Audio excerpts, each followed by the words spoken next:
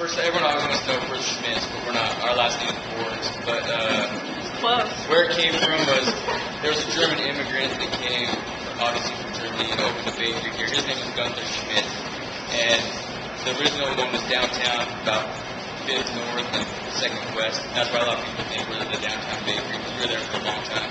But he had the bakery, just did a few German items, and uh, that opened in 1954. And uh, so he, he kind of kept going at it and got a little tired, a little old, decided to retire. Because bakery life is a hard life. Um, long, hard, late hours, early hours. So uh, he ended up doing it so he was just open Friday and Saturday, and that was it for four hours. So his uh, his clientele was really small, not many people. And my dad, Steve Ward, he uh, his grandpa was a baker, my great grandpa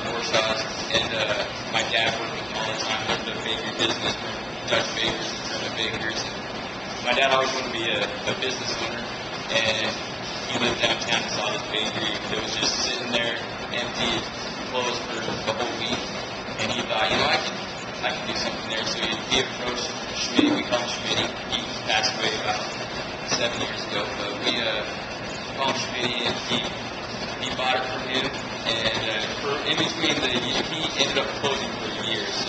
My dad bought it, it's a, close a year between ownership, and my dad bought it in 1976. So it's been a long time that he's been the owner.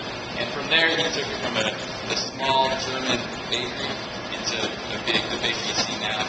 And it, to show how small it was, it's him and my mom were the employees. Um, my dad would come in and bake all night long he didn't have enough money to have anything to slice bread, so he'd have to take all the products to other bakeries and uh, prepare everything and then bring it back. And him and my mom would work the counters.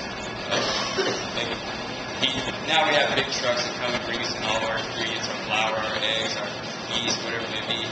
He was too little, so he had to just go shopping at Smith's and buy it and bring it in. And, um, he couldn't afford to change the name.